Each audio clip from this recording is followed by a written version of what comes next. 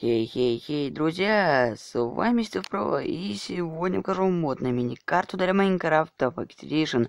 После установки данного мода в нашем мире появляется настоящая мини-карта, с помощью которой вы ни в коем случае не заблудитесь. Ну что ж, при зажатии этой карты у нас открываются ее настройки, где вы можете ее детально настроить. Ну что ж, во-первых, вы можете выбрать насколько у нас будет прогружаться, ну, лучше выбирать стандарт, то есть 4 чанка, да, чтобы у вас ничего не лагало.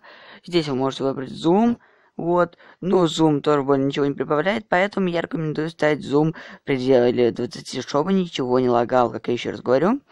Вот, здесь вы можете настроить, что у вас будет отображаться на карте, как у вас будет отображаться значок вашего персонажа и других персонажей. Но лучше всегда выбирать, наверное, стандартный значок Майнкрафта. Если честно, мне нравится это больше. Также есть функция отображения а, всяких сундуков, то есть если вы будете летать в каком-нибудь там обычном мире, то вы сможете видеть скрытые сундуки, да. Эта мини-карта вам довольно много чем поможет.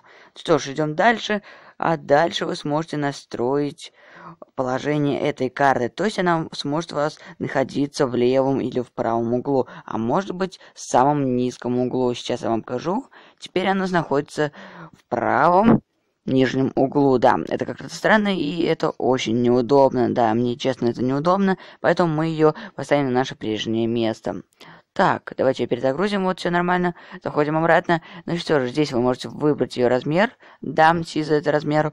И здесь вы можете выбрать уже ее стиль. Но если честно, мне нравится именно такой стиль. Вы можете сделать ее круглой. Да, именно круглой. Но мне опять же нравится именно квадратная.